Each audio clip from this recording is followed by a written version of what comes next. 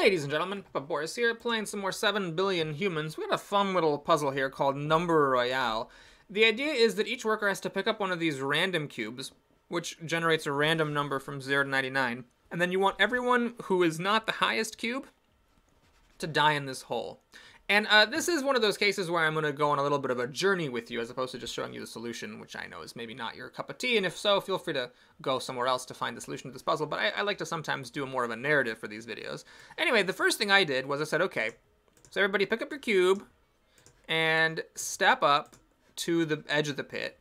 And then if your cube is less than what's to your left, or if your cube is less than what's to your right, then uh, just die. And I was like, well, that's easy. Uh, this must be one of those warm-up puzzles. But watch what happens if you do this. Yeah, it doesn't work. Oops, let me show that one more time. Oh, pause. Because what happens is people who are greater than the person to their left or to the right won't move and they have no way of finding out that somewhere further down the line, someone has a much bigger number. Like the 86 was the big dog over here, but uh, it's smaller than this 98. So that was kind of an embarrassing moment I had privately. So what you have to do is you have to have people moving to the right so that they can bump into potentially people who have bigger numbers, or left, I suppose, also works, uh, and then gradually make their way down to the hole. So what we do is as follows. We, first of all, pick up the thing, and then if your thing is less than what's to your left or to your right, then you step down. And we want everybody to also step to the right. Left works equally well, and then you jump to the top. So what this is going to make people do is step down if their neighbor is bigger, and then step to the right, and then repeat the process. Now, this also doesn't work, because what eventually happens is you create a log jam. At some point, there are going to be people who actually can't step to the right, and since and, the way this game works is that if someone is unable to execute a command they just essentially like you can see here they wait on that command until they can execute it. This person wants to step down but can't. Like she's next to the 99 but she can't step down because there's a 95 here. And this person can't step down because she's not even trying to because she doesn't see that there's a 97 above her. And so then we get stuck. And so here we can use a trick which is one of my favorite tricks increasingly ridiculous long if statements. We're going to say, okay, if you're smaller than the person above you, can you please do that? Thank you. Or you're smaller than the person below you. This is still technically one command.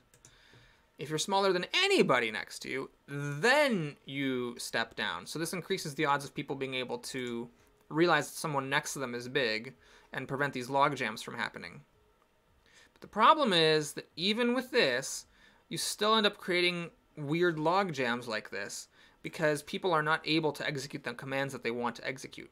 Um, so we can add one more thing, which is to say, okay, let's make it just in any direction that could possibly happen. If the person to your um, upper left is bigger, you know, then go down. If the person to your lower left is bigger,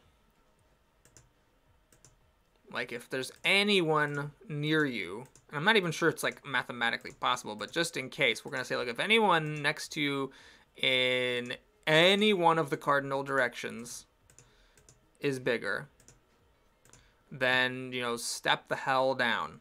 This is all eight possibilities. So we try this, and now everybody's checking every single direction, so it's really likely that they find someone who's bigger than them.